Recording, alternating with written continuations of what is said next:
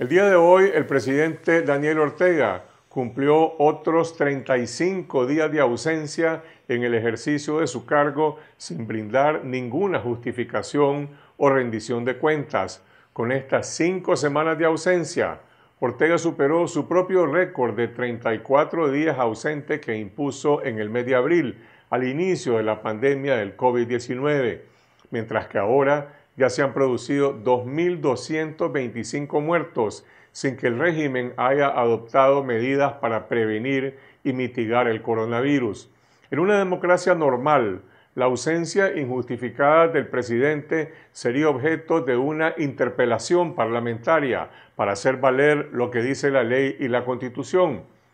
Pero en una dictadura que abolió la autonomía de los poderes del Estado, eso es irrealizable. En un régimen dictatorial y además personalista como el de Ortega y Murillo, lo que provoca la ausencia del gobernante es más de gobierno y un vacío de poder que no se puede llenar únicamente con la fuerza de la represión. De manera que lo que se debate en este momento en Nicaragua es cómo llenar el vacío de poder desde una perspectiva democrática y participativa para promover una salida ante la crisis de la dictadura. Y esta es una responsabilidad primordialmente de la oposición política, pero también de la sociedad civil, de los gremios del sector privado y de los propios empleados públicos. En realidad, desde la matanza de abril 2018, Daniel Ortega y Rosario Murillo están política y moralmente inhabilitados para gobernar. Y ante la crisis sanitaria del coronavirus en 2020,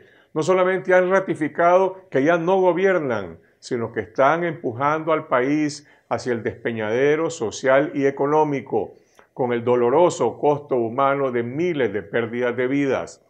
Y esto lo reconoce hoy toda la nación, incluyendo los propios partidarios del FCLN y los servidores públicos, civiles y militares, que deben ser parte de una solución nacional que empieza por una urgente reforma política electoral con o sin Ortega y Murillo para despejar el camino hacia elecciones libres.